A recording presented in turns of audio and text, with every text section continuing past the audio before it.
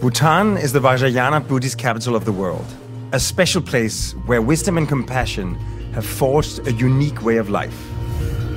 Fiercely proud of their traditions, Bhutanese have preserved their cultural values for centuries through a joint effort focused on sharing, teaching, and caring. Their communities thrive on collective well being, growing a society that measures its nation's success on nine indicators of happiness. A land of mountains, forests, and rivers, Bhutan is one of the world's last remaining biodiversity hotspots and its first carbon negative country.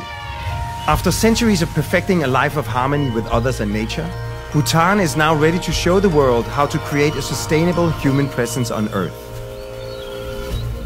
Descending from the Himalayas to the tropical plains, an uninterrupted flow of water, plants, and animals shaped the mindfulness city.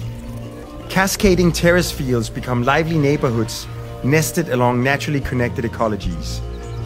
Inhabitable bridges span across biodiversity corridors, connecting communities both physically and spiritually with centers for innovation, education, and recreation.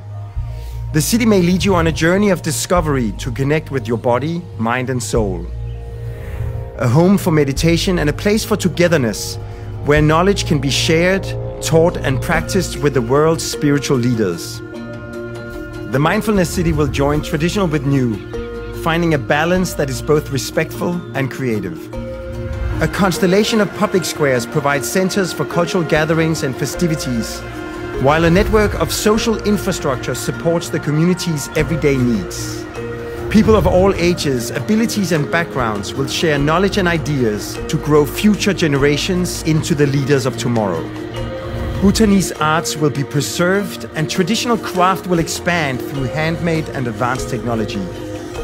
To build a city where engineering is art and nature is power. The Mindfulness City will become a gateway, a bridge between local and global, past and future, nature and humanity.